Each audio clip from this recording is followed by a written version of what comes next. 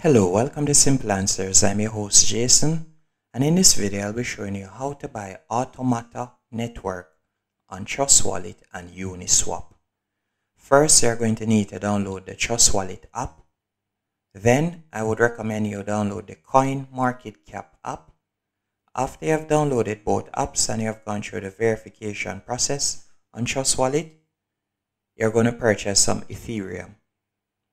Keep in mind that Ethereum that you're purchasing now, later on in the video, you're going to be swapping it. And when it comes to Trust Wallet, the minimum amount you can spend is $50 USD. After you have done your purchase, you're going to go into the Coin Market Cap app.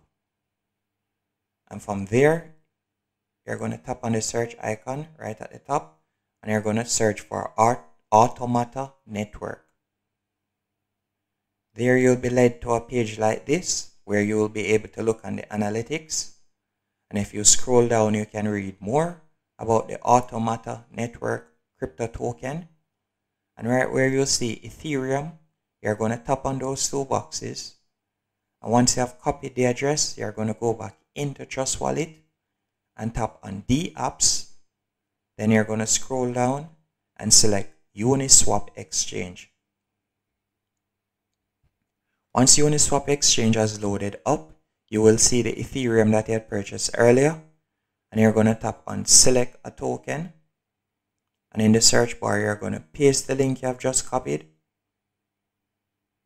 Then you're going to tap on import and import again.